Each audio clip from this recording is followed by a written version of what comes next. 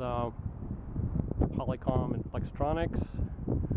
Um, I'm near the San Aquino, some type of creek. Just off at 237. Here's the one sign down there. And down towards that way there's another sign, maybe a quarter mile down there. I'll get some photos of that. This is the other end of the protected area.